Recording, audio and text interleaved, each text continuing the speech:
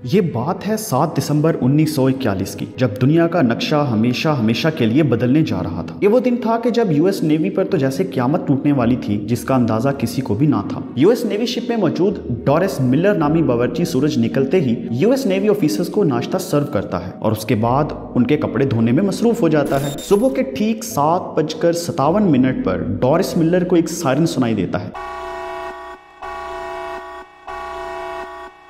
जो शायद हर सेलर अपनी सर्विस में सुनना पसंद ही नहीं करता। वो और इसके साथी फ़ौरन बाहर निकलते हैं और ये देखकर हैरान हो जाते हैं कि आसमान पर हर तरफ़ जापानीज एयरक्राफ्ट्स ने घेरा डाला हुआ है। अभी आँख पलक भी नहीं झपकती कि यूएस नेवी पर तो जैसे क्यामत बर्पा हो गई, क्योंकि जापानीज एयरक्राफ्ट चुन चुन कर अमेरिकन शिप्स को तबाह करना शुरू कर देते हैं। ये हमला यूएस के पर्ल हार्बर पर किया गया था। आखिर टॉरस ने ऐसा क्या काम किया कि इसे अमेरिका का सबसे बड़ा अवार्ड दिया गया? और अमेरिका ने जापान पर न्यूक्लियर हमला क्यों किया? जियो टीवी की आज की इस इंटरेस्टिंग स्टोरी में खुश आमदी नाजरीन, दुनिया जब से वजूद में आई है, हर नौ एक मुकाबले में है। ये मुकाबला है दुनिया में अपने माहौल में सर्वाइव करने का। तारीख बताती है कि जब भी ऐसा मौका आया तो नए इंसान ने हर हरबा इस्तेमाल करने की भरपूर कोशिश की। क्या आप जानते हैं कि ये हरबे कितने खतरनाक साबित हुए? क्या ये सब जायज़ और नाजायज हरबे लोगों के लिए मुफीद साबित हुए या तबाहकुन नाजिन इन सब सवाल के जवाब आपको इस वीडियो में ज़रूर मिलेंगे। इस वीडियो को शुरू से लेकर आखिर तक ज़रूर देखिएगा और उम्मीद करता हूँ कि ये वीडियो इंसान का भयानक और खूनी चेहरा भी आप तक पहुँचाएगी। जापान 6 अगस्त 1945 एक खूबसूरत सुबह। लोग जल्दी जल्दी अपने कामों की तरफ़ जा रहे थे। छोटे बच्चे अपने स्कूल जा रहे थे। कई लोग उस सुबह अपनी दुकानें और बिज़नेस करने के लिए घरों से मंजिल की तरफ़ रवाना हो रहे थे। सुबह आठ बजकर पंद्रह मिनट पर चंद स्कूल के बच्चों ने आसमान पर बहुत ऊपर एक जहाज़ को उड़ते देखा। क्योंकि ये जंग अजीम दोम के दिन थे और जहाज़ों का आना जाना लगा रहता था। और जहाज़ों की आमदोरफ्त कोई गैर मामूली बात ना थी, लेकिन किसी को कानो कान खबर तक न थी। कि यह जहाज़ अपने अंदर एक भयानक और ख़तरनाक नतज देने वाली, क़्यामत बर्पा कर देने वाली चीज़ लेकर उड़ रहा है। ये था नाजीन American bomber B twenty nine. उस जहाज़ ने अपने टारगेट पर जल्दी से बम फेंका और पूरी रफ्तार से मुखालिफ सिमत में उड़ना शुरू कर दिया, जैसे उसको इस इलाके से दूर जाने की बहुत जल्दी हो। वो बम तेज़ी से नीचे की तरफ़ आ रहा था तकरीबन 50 सेकंड्स तक ये बम मुसलसल नीचे की तरफ़ गिरता गया। ज़मीन बहुत तेज़ी से करीब आ रही थी। जब ज़मीन तकरीबन 700 मीटर की दूरी पर थी तो बम के अंदर फायरिंग मैकेनिज्म ऑन हो गया, जिससे एक यूरेनियम बुलेट ने बैरल में जाकर न्यूक्लियर चेन रिएक्शन को स्टार्ट कर दिया।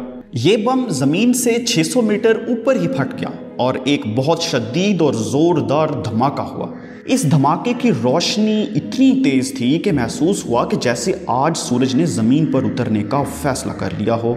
नाजरीन, ये जापान के शहर हिरोशिमा पर गिरने वाला दुनिया का पहला एटम बम था। इसका वज़न 900 पाउंड था और इसका खुफिया नाम लिटिल बॉय रखा गया था। ये धमाका इतना शदीद और ज़ोरदार था कि एक लम्हे में ही ढाई लाख आबादी वाला शहर निस्तो नाबूद हो गया। जिसमें करीबन अस्सी हज़ार से जायद कीमती जानें ज़ाया गईं। कई लोग जो धमाके वाली जगह पर थे, वो हवा में ही बुखारात बनकर तहलील हो गए और बाकी बचे तो सिर्फ़ उनके साए। आप इस बात से बखूबी अंदाज़ा लगा सकते हैं कि इस बम के फटने की वजह से कितना ज़्यादा टेम्परेचर बड़ा होगा जो इंसानी जिसम तक को तहलील कर गया। और इन शेडोज़ यानी सायों को हीरोशीमा शेडोज़ कहा जाता है। नाजरीन, छिहत्तर हज़ार बिल्डिंग्स यूँ तबाह और मिसमार हुई जैसे कि पहले मौजूद ही ना थी। हर तरफ़ हु का आलम था।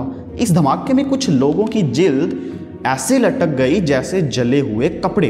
कुछ लोगों की आंतें, दिमाग और अंदरूनी अजाब बाहर आ चुके थे जो कि क़ियामत से कम नहीं था। हज़ारों लोग खून की उल्टियाँ करते हुए मरे। किसी को कुछ मालूम ना था कि क्या हुआ है और इन हालात में कहाँ जाना है।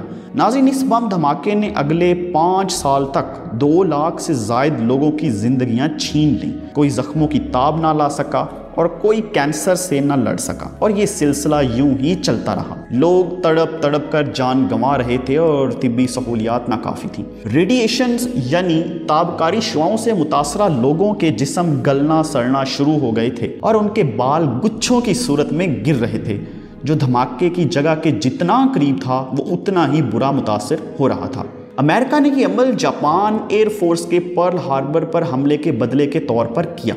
जापान ने अमरीकी बहरी बेड़े पर ज़बरदस्त हमला किया था, जिससे करीबी चार लड़ाका जंगी बेड़े 200 हवाई जहाज़ और तकरीबन तकरीबन 3000 सिपाही अब्दी नींद सो गए। इस हद तक खतरनाक और तबाहकुन हमला अमेरिका के लिए नाकाबले बर्दाश्त था और उसके सीने में बदले की आग दहक रही थी, जो अमरीकी सदर और चीफ की रातों की नींदें उड़ा चुकी थी। यही वजह थी कि बदले की आग दिल में लिए अमरीका ने पहला एटम बम हिरोशिमा और दूसरा नागासाकी पर गिराया था। नागासाकी पर गिरने वाला बम फैट बॉय था, जो कि उसका खुफिया कोड था, और ये बम प्लूटोनियम बेस्ड था। नाजिन नागासाकी धमाके में तीन लाख लोग और दस हज़ार से जायद सिपाही लुकमाई अजल बने। इन दो धमाकों के बाद अमेरिका की खूनी हसरत पूरी हो गई, और जापान के बादशाह हीरो होटो ने सरेंडर कर दिया और गैर मशरूत हथियार डाल दिए। ये जंग बगैर किसी नतीजा के ख़त्म हो गई। यहाँ मैं ये बात अपने नाजरीन को बताना चाहता हूँ कि नाजिन जब कभी कोई मुल्क जंग हार रहा हो या भारी नुकसान उठा रहा हो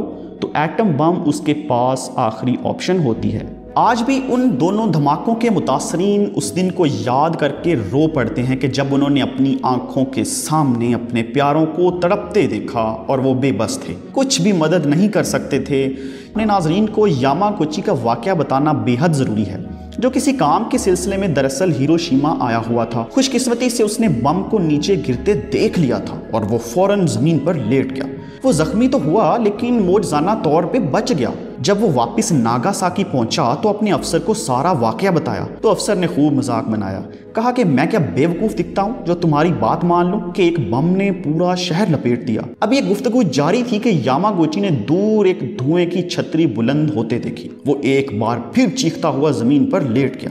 इस हमले में भी वो महफूज रहा, लेकिन उसे एक कान से सुनाई देना बंद हो गया था। इसके बाद 2010 में वो पेट के कैंसर से मर गया। नाजरीन, वीडियो के अख्ताम पर जाते जाते एक बहादुरी की दास्तान भी सुनते जाइए। जापान के जहाज़ जब पर्ल हार्बर पर हमला कर रहे थे तो अमेरिकन नेवी के एहलकार बारी बारी मौत के मुँह में जा रहे थे। ये हमला इतना अचानक था कि उन्हें देर पा मुजाहमत और संभलने का मौका ही ना मिला। लेकिन इसके साथ ही यहाँ एक किरदार डोरिस मिलर का भी है, जो एक बावर्ची था और उसने बहादुरी से लड़ते हुए दो जापानी जहाज़ों को ओंधे मुँह ज़मीन पर गिराया। उसकी इस बहादुरी पर अमेरिकन फोर्स पर इतना सियासी दबाव था कि उन्हें डॉरिस को नेवी क्रॉस एजाज देना पड़ा। और ये अमेरिका का सबसे बेहतरीन और सबसे आला एजाज है, जो जंगी खिदमात के तौर पर सिपाहियों को दिया जाता है। उम्मीद करते हैं कि आज की ये वीडियो आपको बहुत मालूमती और दिलचस्प लगी होगी। मिलते हैं मजीद दिलचस्प वीडियो के साथ। इतनी देर तक दीजिए इजाज़त और देखते रहिए जियो टीवी